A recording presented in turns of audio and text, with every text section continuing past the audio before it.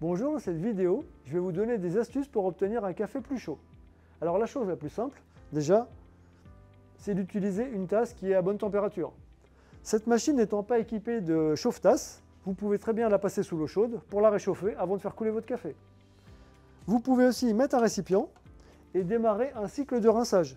Le cycle de rinçage aura pour effet de réchauffer tout le circuit d'eau avant de faire couler votre café. Pour démarrer un cycle de rinçage, il suffit d'appuyer sur la touche OK, tout simplement, et la machine va faire couler de l'eau chaude.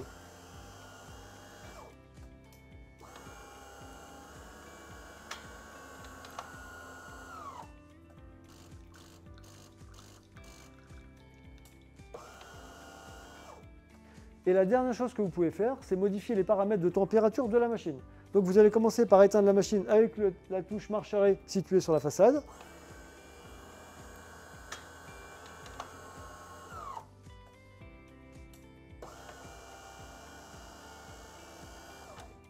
Pour accéder au réglage de température, vous allez maintenir la touche x2 enfoncée jusqu'à ce que le bandeau s'allume.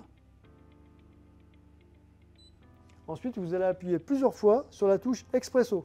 C'est la première touche à gauche. Alors vous avez quatre niveaux de réglage. Un grain, c'est la température la plus basse. Et vous pouvez monter jusqu'à 4 grains, c'est la température la plus chaude.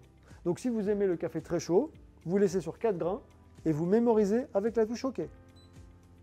Voilà, votre machine est réglée sur la température la plus haute qu'elle peut fournir. J'espère que vous avez apprécié cette vidéo.